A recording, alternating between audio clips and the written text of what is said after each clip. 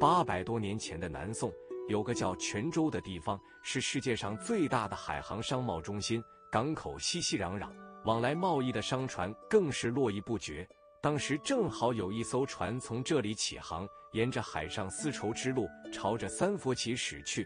但就在行驶到广东阳江海岸线二十海里时，却突然神秘失踪了。直到八百年后的一九八七年，中国和英国的一次考古活动，才意外发现了这艘充满神秘色彩的古船。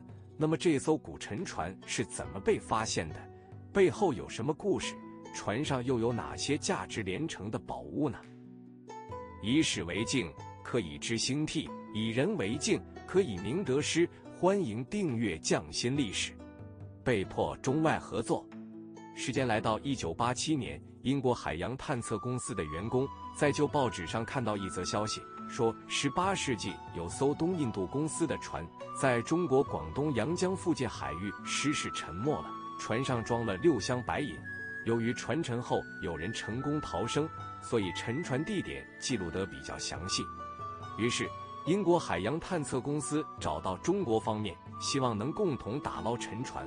八月，广州救捞局根据上级指示，和英国海洋探测公司签了合同，共同寻找沉船。英国的打捞船到了沉船海域后，用声呐确定了几个可疑地点，然后用抓斗开始采样。几次采样下来，在其中一个地点，竟然真的抓到了一些瓷器和中国古钱。英国人还想继续抓，被广州救捞局的人阻止了。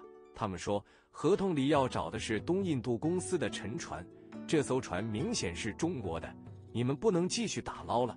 在中国方面的要求下，打捞停止，打捞上来的文物被交到广东省文物部门，经清理，共二百多件，有宋元时期的瓷器，有绍兴通宝、郑和通宝钱币，还有一条一。七米左右的镀金腰带，初步可以认定这是一艘宋元时代的船。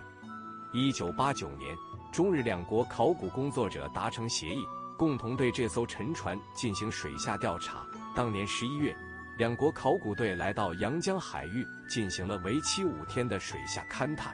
当时风比较大，海水能见度也很低，即便用上了声呐和潜水员探摸的办法，也没能找到沉船船体。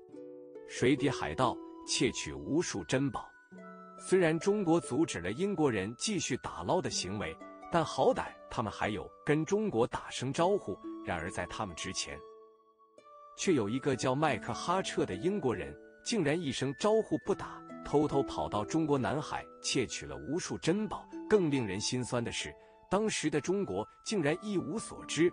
等到人家用这些文物在荷兰举办了拍卖会，消息才传到中国。当时的中国因为缺乏相关的海洋文物保护法，也无法抓住麦克哈彻非法打捞的证据，令人心酸又倍感耻辱。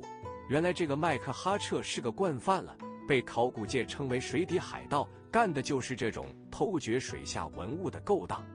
而中国这边听到拍卖消息后，面对流失的文物。我们也只能用钱去买回来。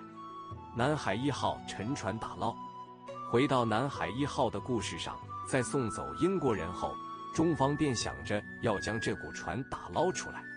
但八十年代的中国受技术和资金的限制，根本没有能力将这沉船打捞出来。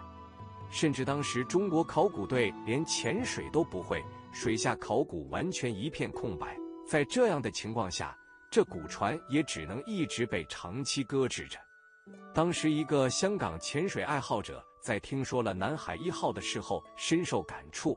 为了帮助中国考古队能尽快将这古船打捞，多年间，考古队不断地下水探索，大致对南海一号进行了初步的探索，断断续续打捞出四千件文物。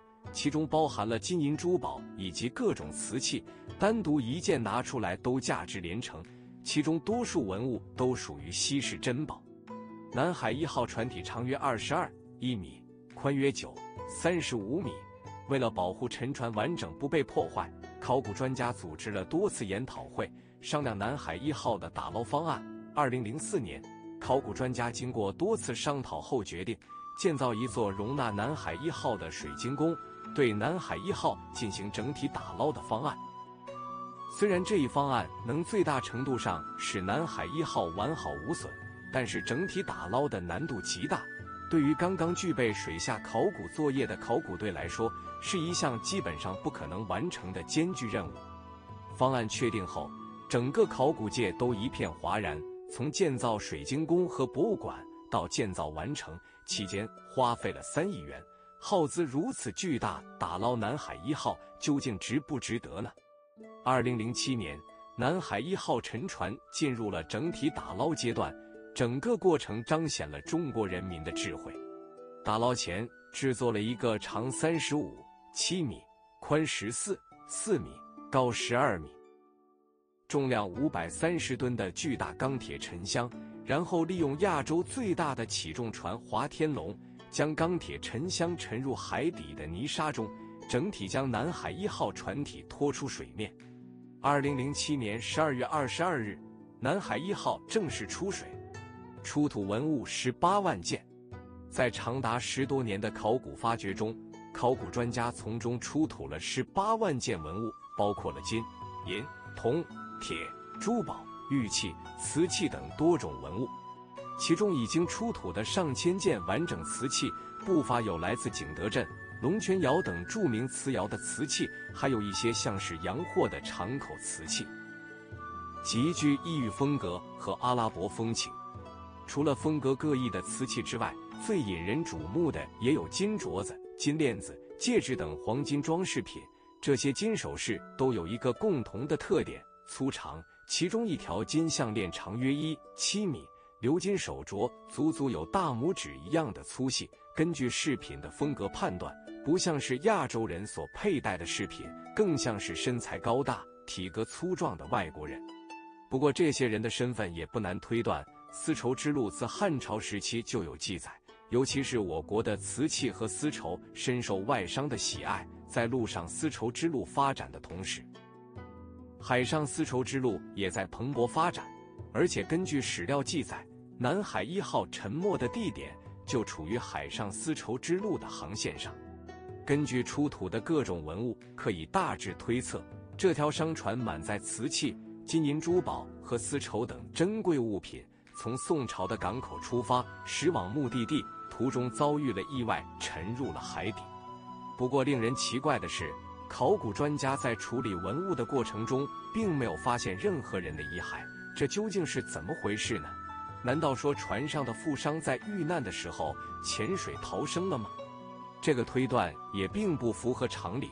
如果富商在情急之下跳海求生，不可能将身上佩戴的金银首饰都脱下来放在船上。船上的富商最终的结果是跟南海一号一同沉入了海底。考古专家没有找到遗骸的原因，也或是经过八百多年的浸泡，那些遗骸早已被海水腐蚀殆尽了。此外，考古专家在船上还找到了保存完好的咸鸭蛋以及加花椒粒，这些看起来不起眼的生活物品，在宋朝时期可是平民百姓享受不起的奢侈品。这也从侧面证明，船上的人吃穿用度都非常奢华。木船千年不腐之谜。更让人惊奇的是，南海一号这艘木船被发现的时候是端正的沉入到海底，没有侧翻，也没有歪斜。最重要的是，什么样的木船能历经八百年不腐烂呢？考古专家发现，南海一号一部分船体是用马尾松木制造的，在民间流传着“水泡千年松，风吹万年山”的说法，这证明松木的船体在水中是比较耐泡。另外，南海一号处于二十米的海水中，上面覆盖的泥沙足足有两米厚，这也隔绝了外部的氧气，使船体没有被过度氧化而腐烂。另外，专家还发现，船底的泥沙中虽然有很多生物残骸，但是里面没有活物，这也减少了对南海一号船体的侵蚀。时至今日，南海一号的发掘工作还在进行，源源不断的有文物被接连打捞。有人估算，南海一号沉船的价值超过了上千亿美元，其价值巨大。不过，最重要的还是它本身所具有的文化价值和历史研究价值。花费三亿打捞费，对南海一号来说还是非常值得的。好了，今天的分享就到这里了。如果您喜欢本期的视频，在下方点个赞或者订阅频道。如果有什么建议，就在下方留言吧。咱们下期不见不散吧。